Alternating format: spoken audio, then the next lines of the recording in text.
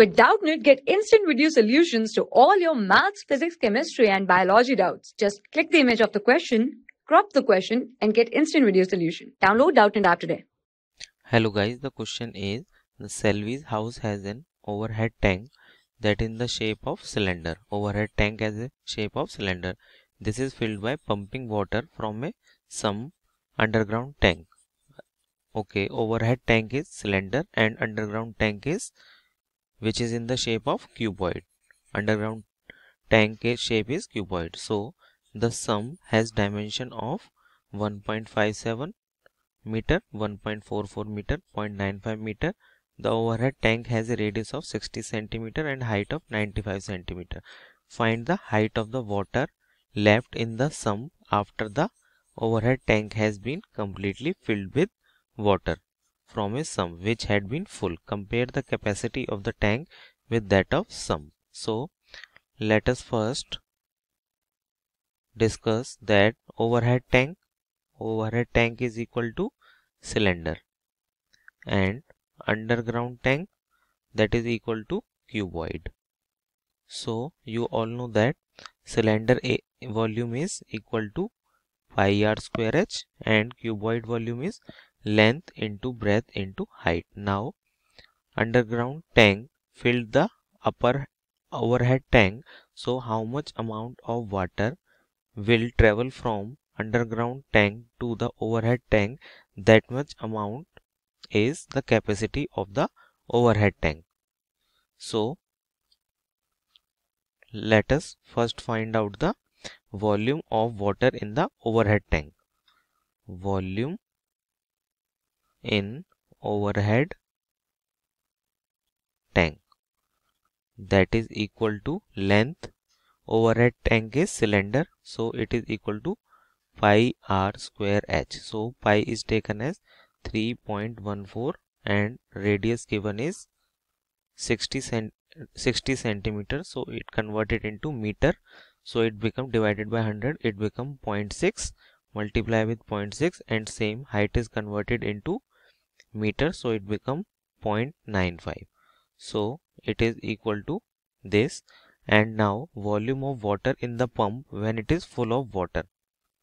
So volume of underground tank that is equal to length into breadth into height because this is cuboid. So length given is 1.57 multiply with 1.44 breadth and height given is 0.95 so we can for simplification we can write it as 2 multiply 314 multiply 0.36 multiply 0.95 so now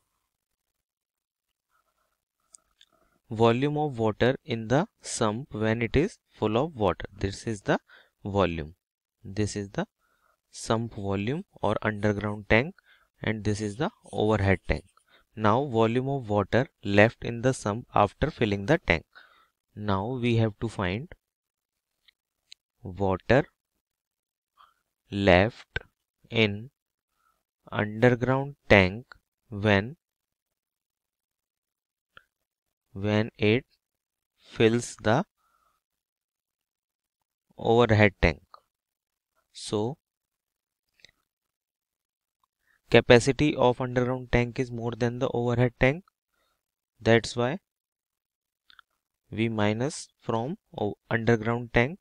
So 2 multiply 3.14 multiply 0.36 multiply 0.95 minus 3.14 multiply 0.6 multiply 0.6 multiply 0.95 so this is equal to 3.14 multiply 0.36 multiply 0.95 so this is the water left in underground.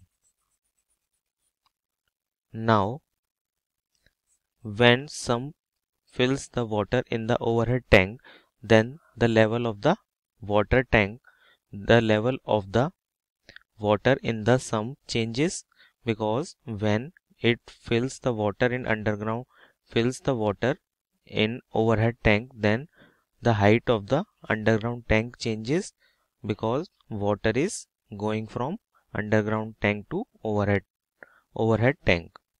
So area but the area of the base of pump area of base of underground tank that remains the same but the level of water decreases. So area remains the same so it will be 1.57 multiply 1.44 that is equal to 2 multiply 314 3.14 multiply 0.36 so now the height is changing and the water left is in the underground tank is this one. So we divide from this you will get 3.14 multiply 0.36 multiply 0.95 divided by 2 multiply 314 3.14 multiply 0.36 that is equal to 40 0.95 divided by 2 that is equal to 0.7 0.475 this is the height of the water that is left in the underground tank. So the now we have to calculate the capacity of the capacity of a tank is capacity of tank divided by capacity of underground tank. Capacity of underground tank. That is equal to this is equal to 3.14 3.14 multiply 0.36 multiply 0.95 this is the overhead tank or equal to the water left in the underground tank divided by 2 multiply 3.14 multiply 0.36 multiply 0.95 so it is half of the capacity of underground tank so the capacity of underground tank is double the capacity of overhead tank thank you For class 6 to 12, IIT JEE and NEET level. Trusted by more than 5 crore students. Download Doubtnut App today.